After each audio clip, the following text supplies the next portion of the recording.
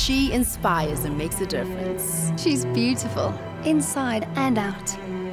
She gives hope and delights all South Africans. She has star power. It will be the beginning of great things. She could become a successful businesswoman. A role model.